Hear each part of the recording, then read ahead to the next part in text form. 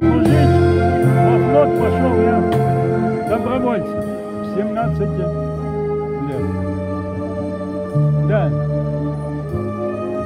Затем Черноморского флота решением Совета Безопасности был переведен в Дунайскую флотилию, с которой я прошел почти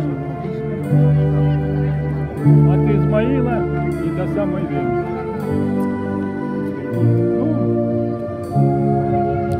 Ну, Расскажите о тяготах службы, вот насколько тяжело было. Я понимаю, что вот... Да. Военного сказали, времени что- тяготы, да, наверное. ну, ну, что можно сказать? Было всякое. Это война, понимаете.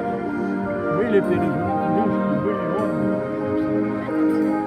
Сегодня. Были контузии. Я инвалид войны первой. Кто-то интересовался? Да. Участник боевых действий я Я ответил. 44 -го года. 40, 17 лет. вам было. Да, 17 лет, да.